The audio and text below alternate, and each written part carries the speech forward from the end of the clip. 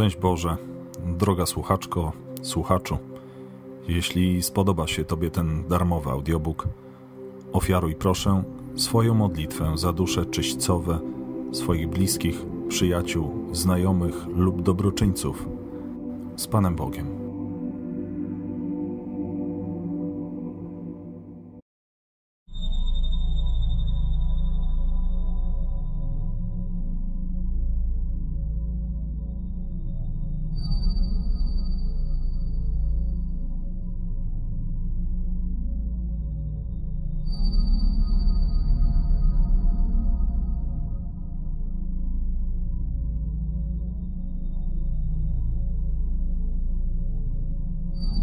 Cud w Barnau. Syberia. Uzdrowienie duszy i wskrzeszenie ciała. Boski cud przywrócenia życia ciału 40-letniej kobiety po czterech dobach pobytu duszy poza ciałem w nadprzyrodzonej rzeczywistości Pana Boga. Kławdii Ustinina, ateistka, matka dziecka, Zmarła podczas operacji chirurgicznej 19 lutego 1965 roku o godzinie 11, a powróciła do życia ziemskiego 23 lutego 1965 roku o godzinie 4 rano. Na powrót stała się żyjącym człowiekiem za wolą Pana Boga. Poniżej relacja niewiasty cudownie przywróconej do życia ziemskiego – i jednocześnie cudownie uzdrowionej. Byłam wielką grzesznicą. Bardzo bluźniłam przeciw cerkwi świętej. Żyłam grzesznie i całkowicie oddana byłam ciemnej mocy szatańskiej. Lecz miłosierdzie Boże nie pozwoliło przepaść mej duszy. Zachorowałam na raka w roku 1963. Chorowałam trzy lata. Nie leżałam. Leczyłam się chodząc do lekarza. Pragnęłam otrzymać pomoc w cierpieniach, lecz nie było skąd jej otrzymać. Na ostatnie sześć miesięcy zaniemogłam tak, że nie mogłam nawet napić się wody. Następowały silne wymioty. W końcu zostałam umieszczona w szpitalu. Byłam wielką ateistką. To specjalnie dla mnie wezwano z Moskwy najlepszego specjalistę profesora. 19 lutego 1965 roku o godzinie 11 dokonano operacji, podczas której stwierdzono złośliwy nowotwór w jelitach. Podczas tego nastąpiła u mnie śmierć. Gdy otwierano jamę brzuszną, dusza moja unosiła się ponad moje ciało i została między dwoma lekarzami. Ze strachem patrzyłam na moje ciało, na moją chorobę. Cały żołądek i jelita pokryte były guzami. Dziwiłam się, dlaczego jest nas dwie. Równocześnie stoję i leżę. Zobaczyłam, jak lekarze wyciągają moje wnętrzności i kładą na stół, mówiąc: W miejscu, gdzie winna znajdować się dwunastnica, jest jeden śluz. Wszystko przeżarte. Gdy wszystko wybrano, powiedzieli: Jak ona żyła, jeśli w niej nie ma nic zdrowego? Potem lekarze założyli klamry na brzuch. Operacji dokonywał Żyd, Izrael Isajewicz Niemijak, w asyście swoich dziesięciu lekarzy, którzy powiedzieli, że ciało moje oddano młodym lekarzom na praktykę. Zaniesiono je do trupiarni Widzę, że leżę nago. Następnie przykryto mnie prześcieradłem.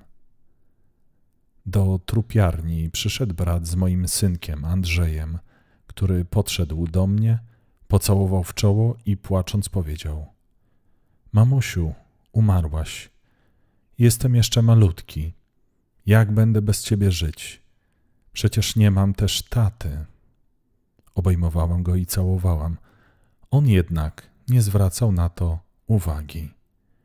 Widziałam wszystko, jak płakał mój brat i mój synek. pewnym momencie znalazłam się w domu, gdzie przyszła teściowa, matka pierwszego męża. Była tu również moja siostra. Z pierwszym mężem rozeszłam się, gdyż był wierzącym i praktykującym. Zaczął się podział mojego majątku. Byłam bogata. Wszystko zdobyłam nieuczciwie.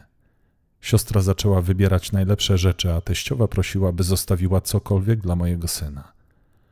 Ona jednak nic nie dała i zaczęła ubliżać teściowej.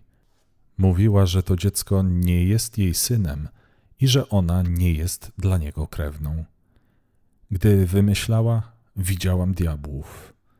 Notowali każde obelżywe słowo, ciesząc się. Następnie siostra i teściowa zamknęły drzwi i wyszły. Siostra z tobołem udała się do domu. Będąc grzesznicą, bardzo się dziwiłam, że znowu lecę na wysokości. Znalazłam się nad miastem Barnau, a potem zrobiło się ciemno, ciężko. Widziałam miejsca, gdzie niegdyś bywałam w młodości. Nad czym leciałam, nie wiem. Na powietrzu czy na jakimś obłoku, wyjaśnić tego nie potrafię. Gdy doleciałam do pierwszego podniebnego przystanku, dzień był pochmurny. Następnie zrobiło się bardzo jasno. Nie mogłam patrzeć. Położono mnie na czarną platformę. Czasie mojego dalszego lotu znajdowałam się w pozycji leżącej. Na czym leciałam? Nie wiem. Niby na jakiejś dykcie, lecz miękkiej i koloru czarnego. Zamiast ulicy była tu aleja, wzdłuż której rosły niewysokie krzewy i gałązki, jakich nigdy nie widziałam i na których były cienkie liście, jakby zaostrzone z obu stron.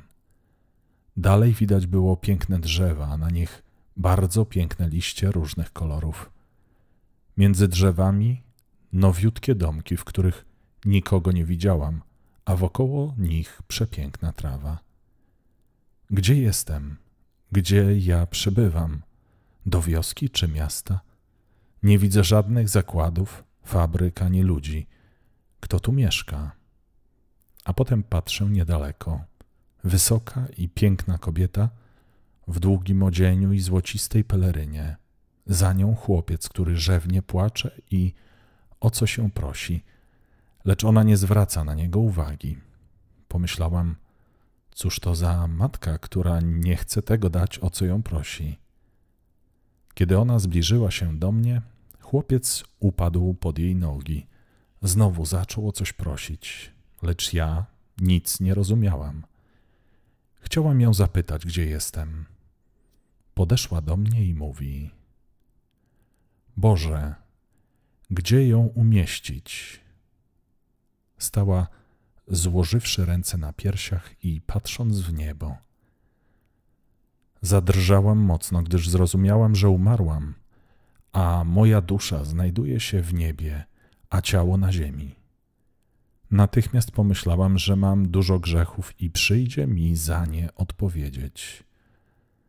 Zaczęłam mocno płakać. Obróciłam głowę, by zobaczyć Boga. Usłyszałam, jak powiedział: Odeślij ją z powrotem. Przyszła za wcześnie. Zrozumiałam wreszcie, że kobieta to królowa niebios, a chłopiec to mój anioł stróż, który chodził za nią i płakał, prosząc o mnie. Pan Bóg mówił dalej. Naprzykrzyło mi się bluźnierstwo i grzeszne jej życie. Chciałem ją zetrzeć z powierzchni ziemi za karę, ale jej ojciec ubłagał mnie. Dobroć mojego rodzonego ojca, stałe jego modlitwy spowodowały miłosierdzie Boże. Potem Pan Bóg powiedział: Należy jej pokazać, na co zasłużyła. W mgnieniu oka znalazłam się w piekle. Po mnie zaczęły łazić straszliwe gady, ogniste języki. Z języków leciał ogień, inne gady wokół mnie. Smród nieznośny. Żmije wpijały się we mnie. Zaczęły po mnie łazić robaki grubsze od palca, ogony o długości na ćwierć palca. łaziły po mnie, włażąc do otworu tylnego i przedniego, do uszu, nosa, ust. Ból był nie do zniesienia. Krzyczałam w niebogłosy, lecz zmiłowania i żadnej pomocy znikąd. Zjawia się zmarła po spędzeniu płodu. Widzę, stoi ta kobieta i prosi Boga o miłosierdzie. On powiedział: Jak mnie na ziemi nie uznawałaś, dzieci zabijałaś w łonie swoim, ludziom radziłaś nie rozmnażać biedoty. Wam dzieci niepotrzebne, a u mnie zbędnych nie ma. Daję wszystko wszystkim, wszystkiego starcza dla mego stworzenia. Wtedy Bóg powiedział do mnie: Dałem ci chorobę, żebyś pokutowała. Ty do końca bluźniłaś mi. Teraz nie uznaję ciebie. Zawirowało wszystko za mną i poleciałam. Stamtąd buchnął smród, a ziemia się wyrównała, bym mogła na nią patrzeć. Następnie zobaczyłam swoją cerkiew, którą lżyłam. Kiedy otworzyły się drzwi, wyszedł duchowny w białej szacie. Wtedy Bóg zapytał: Kto to jest? Odpowiedziałam: To jest duchowny. A głos mówił dalej: A ty mówiłaś, że to nie rób. Lecz on nie nie rób, tylko prawdziwy pasterz, nie zdrajca. Wiedz, że jakiego by nie był stopnia, służy Bogu. Jeśli ojciec duchowny nie przeczyta, nie wypowie nad tobą modlitwy rozgrzeszenia, to ja ci nie przebaczę. Wtedy zaczęłam prosić: Boże, pozwól mi wrócić na ziemię. U mnie jest chłopiec. Bóg odpowiedział: Wiem, że masz dziecko Tobie go bardzo żal. Tak, żal ci jednego, a u mnie was tyle, że nie do zliczenia. Żal mi was tysiące razy więcej, na jakiejkolwiek złej drodze byście się nie znaleźli. Po co pragniecie nabywać wielkie bogactwa? Po co czynicie przestępstwa? Widzisz, jak teraz rozchwytują twój majątek do kogo trafiło całe Twoje bogactwo? Dziecko dali do przytułku, a Twoja nieczysta dusza przyszła służyć tu, w piekle. Do kina uczęszczałaś, pieniądze ofiarowałaś diabłu, do cerkwi nie chodziłaś. Czekam, kiedy się przebudzisz ze snu grzesznego i wyrazisz skruchę. Ratuj się sama i ratuj duszę swoją. Módl się. Czasu zostaje niewiele. Wkrótce przyjdę sądzić świat. Módl się. Mówię, Boże, jak się modlić? Nie wiem. Ta modlitwa jest mi droga, którą mówicie ze szczerego serca, z głębi duszy. Mówcie, Boże, odpuść mi. Módlcie się z serca, ze łzami skruchy, i taka modlitwa będzie dla mnie przyjemna. Potem zjawiła się Matka Boża i znów stanęłam na tę samą platformę. Nie leżałam, lecz stałam. Królowa Niebios mówi do Boga. Na czym ją opuścić? Jej włosy są krótkie. Głos Boży mówi: Daj warkocz do prawej ręki pod kolor włosów. Wtedy królowa niebios poszła po warkocz. To widziałam, jak ona przeszła do dużych wrót, które składały się ze splotów warkoczy o linii ukośnej, jak wrota ołtarza w cerkwi o niewypowiedzianej piękności. Podeszła do nich królowa niebios i one same się otworzyły. Weszła do środka, do jakiegoś ogrodu. Ja zostałam w miejscu, gdzie stałam.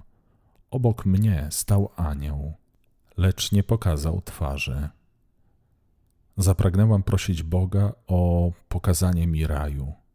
Boże, Mówią, że tutaj jest raj.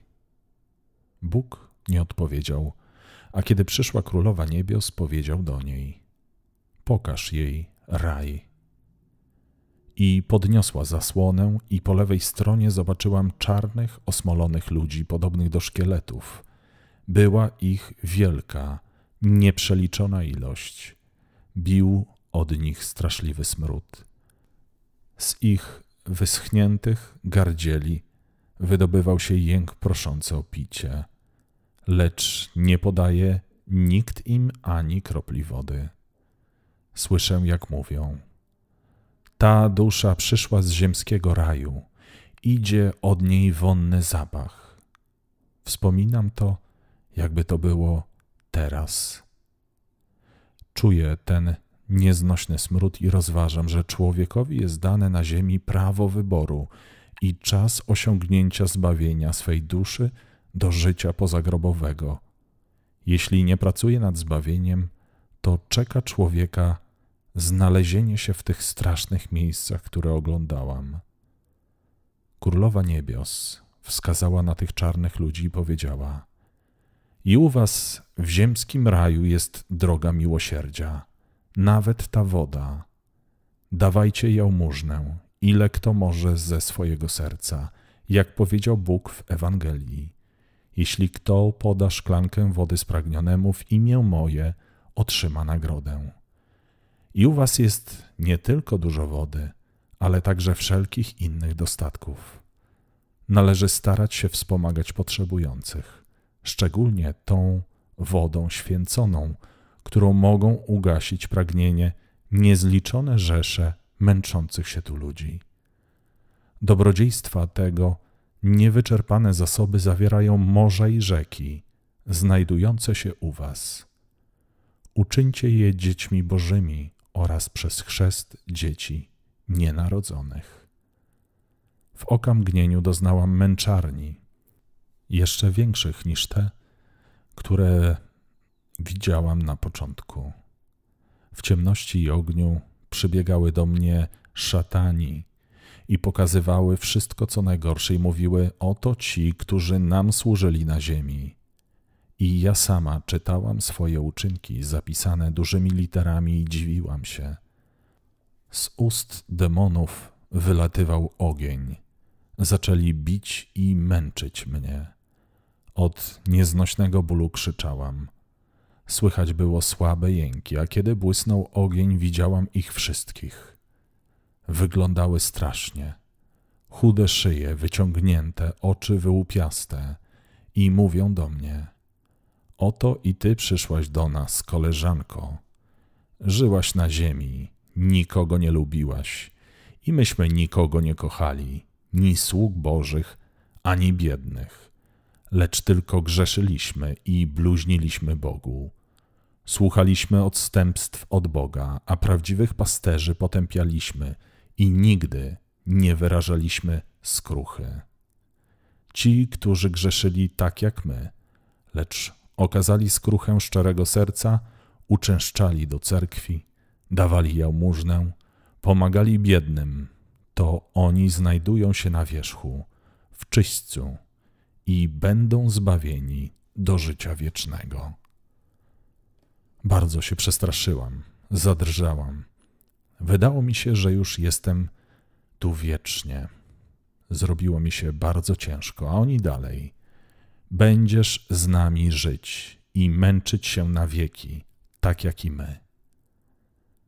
Zjawiła się nagle Matka Boża. Zrobiło się niezwykle jasno. Wszystkie szatany upadły, a dusze zwróciły się do Królowej Niebios nie zostawiaj nas tu, tyle się męczymy. Wody nie ma ani kropli, a upał nieznośny. Wylewały gorzkie łzy. Matka Boża bardzo płakała i mówiła: Kiedy żyliście na ziemi, nie uznawaliście mnie, nie prosiliście pomocy, nie kajaliście się, nie modliliście się do syna mojego i do Pana Boga. Ja nie mogę przekroczyć woli Ojca Niebieskiego i dlatego nie mogę Wam pomóc i prosić za Wami. Pomogę tym cierpiącym, za których modli się cerkiew i rodzina oraz pomogę czyniącym dobre uczynki. Gdy byłam w piekle, dawali mi jeść różne robaki, żywe i zdechłe, śmierdzące. Krzyczałam i mówiłam, jak ja będę to jeść? A mi odpowiedziano, postu nie przestrzegałaś, gdy żyłaś na ziemi. Teraz robaki jedz, żaby i wszystko paskudztwo. Potem zaczęliśmy się podnosić z Matką Bożą. Ci, którzy byli w tym piekle, zaczęli głośno krzyczeć: Nie zostawiaj nas, Matko Boża. I znowu nastąpiła ciemność. Stałam na tej platformie. Gdy królowa niebios złożyła ręce na piersiach, zapytała Pana Boga: Jak mam z nią postąpić? Gdzie ją dać? Bóg odpowiedział: Opuść ją na ziemię. I tu pojawiły się taczki bez kół, ale one jechały. Było ich dwanaście sztuk. Królowa powiedziała: Stań prawą nogą i idź naprzód. I idź tak do ostatniej taczki. Zawsze prawą nogą naprzód, a lewą przystawaj.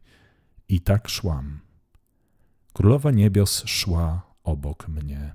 Gdy doszłam do ostatniej taczki, za nią była przepaść. Matka Boża mówi: Opuszczaj prawą nogę, potem lewą. Powiedziałam: Boję się upaść. A ona odpowiada: Tak trzeba. Spytałam, czy się nie zabiję. Odpowiedziała: Nie, nie zabijesz się. Dała mi warkocz do prawej ręki. Wstrząsnęła i poleciałam na ziemię. Widzę na ziemi jeżdżące samochody. Ludzie idą do pracy i widzę, że lecę na plac nowego bazaru i cicho lecę do trupiarni, gdzie leżało moje ciało i w okamgnieniu stanęłam na ziemi. Ale co było robić? Poszłam do trupiarni, była zamknięta, lecz weszłam i patrzę, że leży moje ciało martwe, głowa i ręce zwisały. Jedna strona ciała była przełożona nieboszczykiem.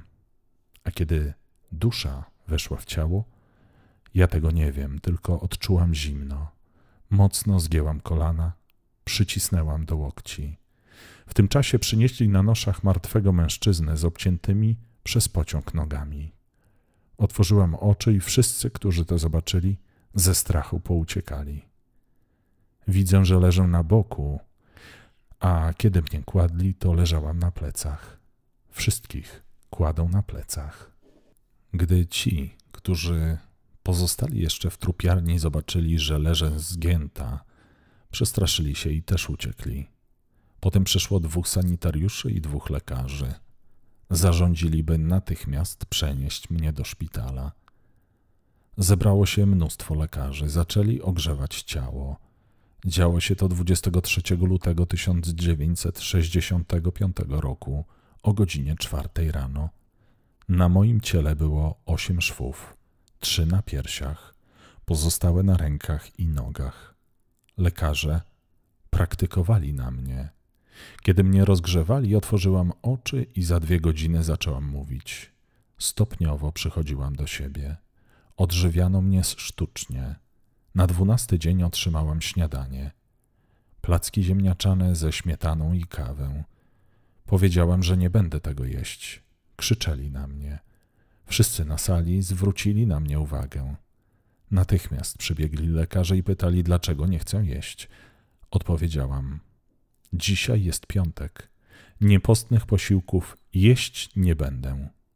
Zaczęłam lekarzom i siostrom opowiadać, gdzie byłam i co widziałam.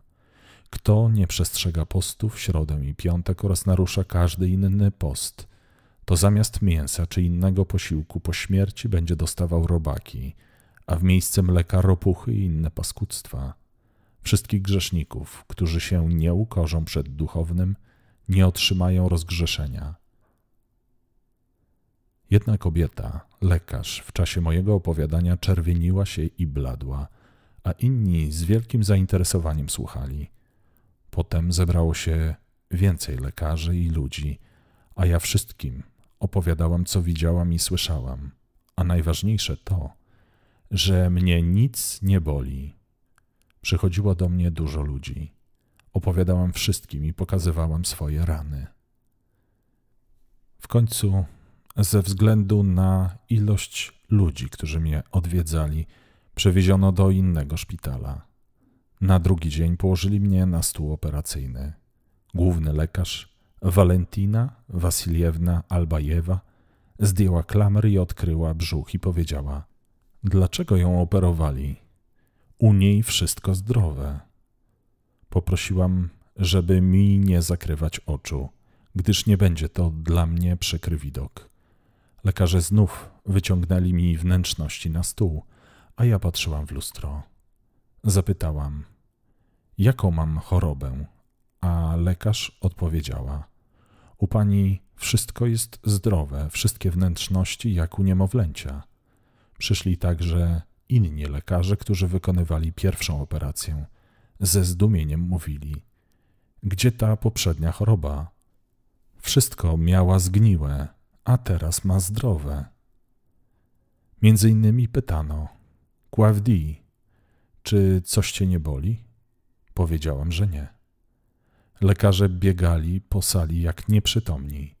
Ze strachu brali się za głowy, załamywali ręce, bledli i byli jak martwi. Powiedziałam, że Bóg objawił swoją moc po tym, żebym żyła i opowiadała innym, że nad nami jest moc Najwyższego. Potem powiedziałam profesorowi Izraelowi Izajewiczowi: Jak mogliście się tak pomylić? Odpowiedział: W tobie nie było niczego zdrowego. To Najwyższy ciebie przeobraził. Wtedy ja mu odpowiedziałam: Jeżeli jemu wierzycie, to ochrzcijcie się i weźcie ślub. On był Żydem i słuchał z niedowierzaniem. Widziałam całe swoje wnętrzności, jak lekarze zakładali szwy i gdy założyli ostatni, Albajewa Wasiliewna Walentina, która robiła drugą operację, wyszła na korytarz, padła na stopnie i głośno płakała. Zapytano ją, co się stało, a ona, jestem tym zdumiona, że u niej taka siła, ona nawet nie stęknęła. Czy to nie jest boski cud? To widać, że Bóg jej pomaga. I mówiła jeszcze, że kiedy leżałam pod narkozą, profesor Izrael Isajewicz, który robił pierwszą operację 19 lutego 65 roku, starał się wszelkimi sposobami namówić lekarzy do uśmiercenia mnie, lecz ona kategorycznie sprzeciwiła się. Przy drugiej operacji uczestniczyło wielu lekarzy z różnych szpitali. Poprosiłam o wezwanie tego duchownego, którego dawniej lżyłam, i wszystko mu opowiedziałam. Wyspowiadałam się i przyjęłam komunię świętą. Ojciec ten odprawił nabożeństwo. Otrzymałam rozgrzeszenie i natychmiast po tym poszłam do Komitetu Miejskiego Partii i oddałam legitymację. Dawna Kławdii, bezbożna aktywistka, już nie istnieje. Obecnie mam 40 lat i przy pomocy Królowej Niebios odzyskałam zdrowie i z miłości do Boga Najwyższego chodzę do cerkwi i staram się prowadzić życie po chrześcijańsku. Chodzę też po drogach, dworcach, pociągach i opowiadam wszystkim wszystko, co mi się przydarzyło, a Bóg mi we wszystkim pomaga. A teraz radzę wszystkim, kto nie chce się narazić na wieczne potępienie i męki po śmierci. Niech wierzy w Boga.